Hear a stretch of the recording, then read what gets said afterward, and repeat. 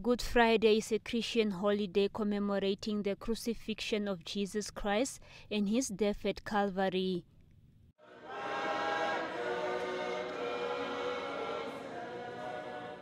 The Macedonia Lutheran Parish Church in Katutura was packed to capacity and congregants sang hymns and listened to sermons.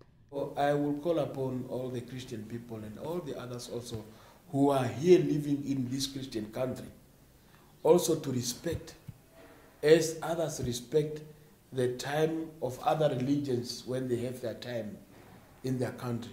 When Friday comes, the Good Friday, when our Lord Jesus Christ was taken to the tomb, Saturday is a quiet time where we sit back, not relaxing, but sitting back and praying, so that when the time of Sunday comes, when we say He is raised, At Koi International Worship Center, Pastor Michael Amy explained the relevance of Easter commemoration.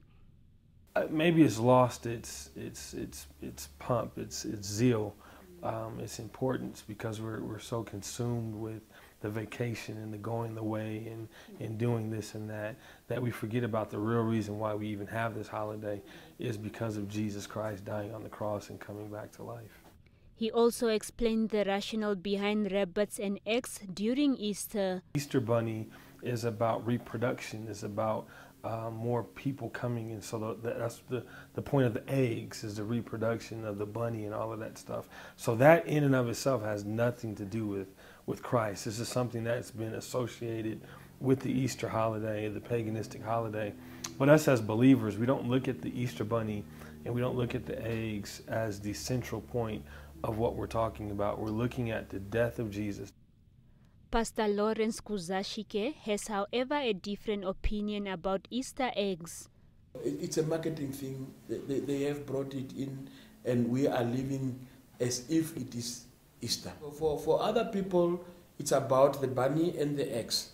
But for the others, it's me to be awakened in my Christianity.